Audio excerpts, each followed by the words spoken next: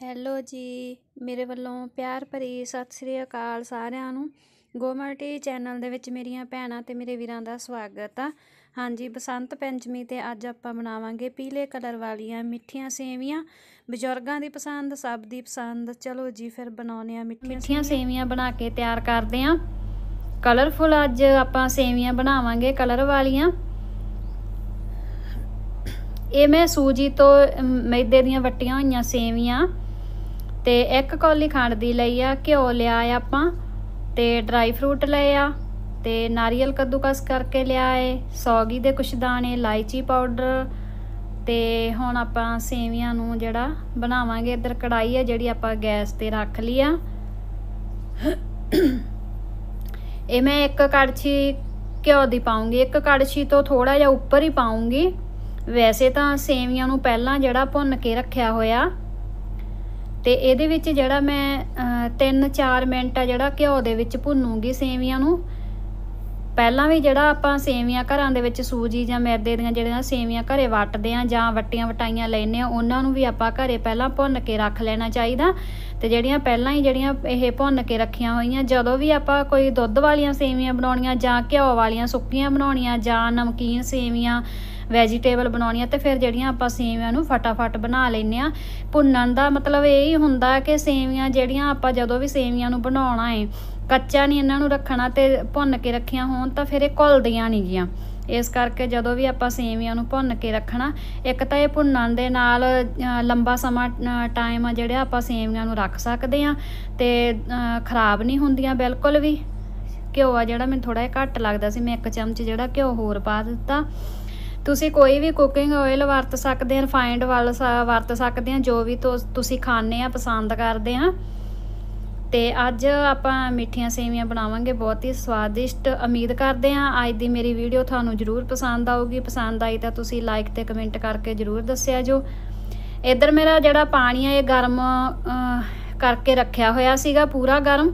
ਤੇ ਆਪਾਂ ਜਿਹੜਾ ਪਾਣੀ ਪਾਉਣਾ ਸੇਵੀਆਂ ਦੇ ਵਿੱਚ ਉਹਨਾਂ ਪਾਣੀ ਪਾਉਣਾ ਜਿੰਨੇ ਦੇ ਵਿੱਚ ਜਿਹੜੀਆਂ ਆਪਣੀਆਂ ਸੇਵੀਆਂ ਪੂਰੀ ਤਰ੍ਹਾਂ ਡੁੱਬ ਜਾਣ। ਜ਼ਿਆਦਾ ਪਾਣੀ ਵੀ ਨਹੀਂ ਪਾਉਣਾ ਤੇ ਘੱਟ ਵੀ ਨਹੀਂ ਪਾਉਣਾ। ਧਿਆਨ ਦੇ ਨਾਲ ਦੇਖੋ, ਪਾਣੀ ਆ ਜਿਹੜਾ ਇਹ ਆਪਾਂ ਉਹਨਾਂ ਪਾਉਣਾ, ਜੀ- ਜਿਹੜਾ ਸੇਵੀਆਂ ਦੇ ਉੱਪਰ ਤੱਕ ਪਾਣੀ ਆ ਜਾਵੇ।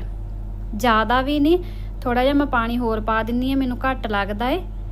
ਗਰਮ ਪਾਣੀ ਕਰ ਲੈਣਾ ਹੈ ਆਪਾਂ। ਜੇ ਨਮਕੀਨ ਬਣਾਉਣੀ ਆ ਤਾਂ ਵੀ ਜੇਕਰ ਮਿੱਠੀਆਂ ਸੇਵੀਆਂ ਬਣਾਉਣੀਆਂ, ਤਾਂ ਵੀ ਫਿਰ ਵੀ ਪਾਣੀ ਨੂੰ ਜਿਹੜਾ ਹੈ ਆਪਾਂ ਗਰਮ ਕਰਕੇ ਹੀ ਰੱਖਣਾ ਹੈ। ਤੇ ਸੇਵੀਆਂ ਦੇ ਵਿੱਚ ਪਾਣੀ ਆਪਾਂ ਉਨਾ ਪਾਉਣਾ ਜਿੰਨੇ ਸੇਵੀਆਂ ਦੇ ਉੱਪਰ ਤੱਕ ਪਾਣੀ ਆ ਜਾਵੇ ਤੇ ਸੇਵੀਆਂ ਜਿਹੜੀਆਂ ਆਪਣੀਆਂ ਡੁੱਬ ਜਾਣ।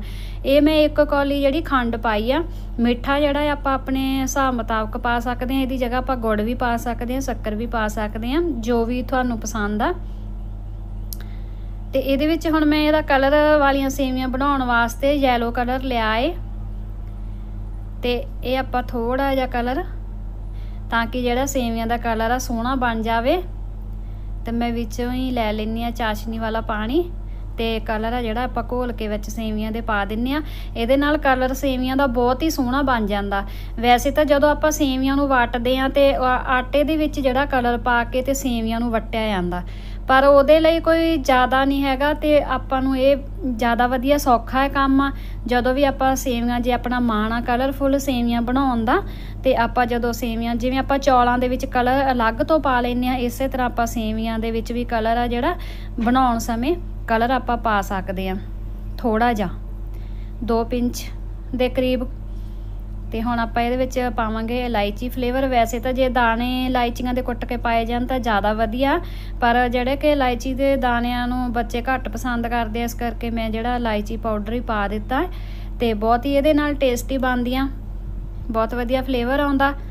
ਤੇ ਨਾਰੀਅਲ ਵੀ ਜਿਹੜਾ ਵੈਸੇ ਕੱਟ ਕੇ ਪਾਇਆ ਜਾਵੇ ਤਾਂ ਸੋਹਣਾ ਲੱਗਦਾ, ਤੇ ਮੈਂ ਥੋੜੇ ਜਿਹੇ ਸੌਗੀ ਦੇ ਦਾਣੇ ਲਏ ਆ।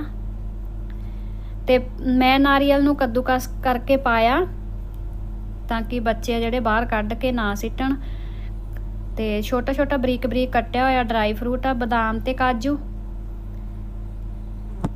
ਡਰਾਈ ਫਰੂਟ ਆ ਜਿਹੜੇ ਆਪਾਂ ਆਪਣੀ ਮਰਜ਼ੀ ਮੁਤਾਬਕ ਪਾ ਸਕਦੇ ਆ, ਜਿਵੇਂ ਕਿ ਪਿਸਤਾ, ਅਖਰੋਟ ਕੁਝ ਵੀ, ਜੋ ਵੀ ਆਪਾਂ ਨੂੰ ਪਸੰਦ ਆ, ਜੋ ਵੀ ਆਪਣੇ ਘਰੇ ਆ, ਉਹੀ ਆਪਾਂ ਪਾ ਸਕਦੇ ਆ।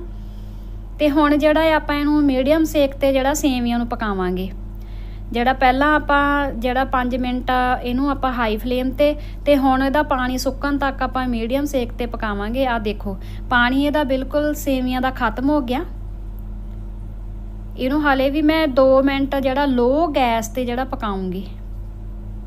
ਸਿਰਫ 2 ਮਿੰਟ, ਉਸ ਤੋਂ ਬਾਅਦ ਆਪਾਂ ਗੈਸ ਬੰਦ ਕਰ ਦਿਆਂਗੇ ਤੇ ਫਿਰ ਇਹਨੂੰ ਜਿਹੜਾ ਮੈਂ 10 ਤੋਂ 15 ਮਿੰਟ ਆ ਜਿਹੜਾ ਢੱਕ ਕੇ ਰੱਖ ਦੂੰਗੀ, ਸੇਵੀਆਂ ਜਿਹੜੀਆਂ ਆਪਣੇ ਆਪ ਸੇਵੀਆਂ ਪੱਕ ਚੁੱਕੀਆਂ ਤੇ ਹਾਲੇ ਇਹਨੂੰ ਫੁੱਲਣ ਦੇ ਲਈ ਆਪਾਂ ਟਾਈਮ ਦੇਵਾਂਗੇ 10-15 ਮਿੰਟ ਗੈਸ ਬੰਦ ਕਰਕੇ ਤੇ ਢੱਕ ਕੇ। ਗੈਸ ਆ ਜਿਹੜਾ ਮੈਂ ਬੰਦ ਕਰ ਦਿੱਤਾ ਤੇ ਪਾਣੀ ਜਿਹੜਾ ਇਹਨਾਂ ਦਾ ਖਤਮ ਹੋ ਗਿਆ ਤੇ ਹੁਣ ਆਪਾਂ ਗੈਸ ਨਹੀਂ ਚਲਾਉਣਾਗਾ, ਬੰਦ ਕਰ ਦੇਣਾ ਤੇ ਇਹਨੂੰ ਜਿਹੜਾ ਮੈਂ 10 ਤੋਂ 15 ਮਿੰਟ ਤੱਕ ਤੱਕ ਇਹਨੂੰ ਢੱਕ ਕੇ ਰੱਖੂੰਗੀ ਤੇ ਆਪਣੀਆਂ ਜਿਹੜੀਆਂ ਸੇਵੀਆਂ ਇਹ ਫੁੱਲ ਕੇ ਤਿਆਰ ਹੋ ਜਾਣਗੀਆਂ। ਬਹੁਤ ਵਧੀਆ ਬਣ ਜਾਣਗੀਆਂ।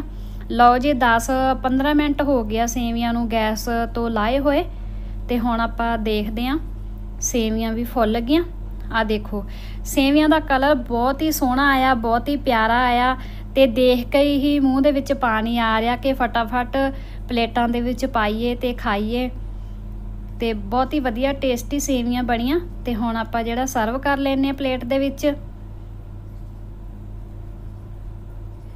ਜਦੋਂ ਵੀ ਸੇਵੀਆਂ ਬਣਾਉਣੀਆਂ ਤੇ ਬਸ ਜਿਹੜਾ ਪਾਣੀ ਨਹੀਂ ਜ਼ਿਆਦਾ ਪਾਉਣਾ ਤੇ ਪਾਣੀ ਘੱਟ ਵੀ ਨਹੀਂ ਪਾਉਣਾਗਾ ਤੇ ਇਹਨੂੰ ਜਿਹੜਾ ਪਹਿਲਾਂ ਹੀ ਆਪਾਂ 2 ਤੋਂ 4 ਮਿੰਟ ਜਿਹੜਾ ਪਾਣੀ ਪੂਰਾ ਜਿਹੜਾ ਗੈਸ ਹਾਈ ਫਲੇਮ ਤੇ ਪਕਾਉਣੀਆਂ ਤੇ ਉਸ ਤੋਂ ਬਾਅਦ ਇਹਦਾ ਜਿਹੜਾ ਸੇਕ ਆ ਲੋ ਮੀਡੀਅਮ ਤੇ ਕਰਕੇ 10-15 ਮਿੰਟ ਵਾਸਤੇ ਉਹਨੂੰ ਢੱਕ ਕੇ ਪਕਾਉਣਾ ਤਾਂ ਕਿ ਸੇਵੀਆਂ ਜਿਹੜੀਆਂ ਫੁੱਲ ਜਾਣ। ਫਿਰ ਇਹਨੂੰ ਗੈਸ ਬੰਦ ਕਰਕੇ ਤੇ 10-15 ਮਿੰਟ ਢੱਕ ਕੇ ਰੱਖ ਦੇਣਾ। ਸਰਵ ਕਰਨ ਤੋਂ ਪਹਿਲਾਂ। ਚਲੋ ਠੀਕ ਆ ਜੀ, ਅੱਜ ਦੀ ਵੀਡੀਓ ਆਪਣੀ ਇੰਨੀ ਸੀ। ਅਗਲੀ ਵੀਡੀਓ ਦੇ ਵਿੱਚ ਆਪਾਂ ਫੇਰ ਮਿਲਾਂਗੇ। ਵੀਡੀਓ ਦੇਖਣ ਦਾ ਤੁਹਾਡਾ ਬਹੁਤ ਬਹੁਤ ਧੰਨਵਾਦ। ਤਬ ਤੱਕ ਲਈ ਸਤਿ ਸ਼੍ਰੀ ਅਕਾਲ। Okay bye bye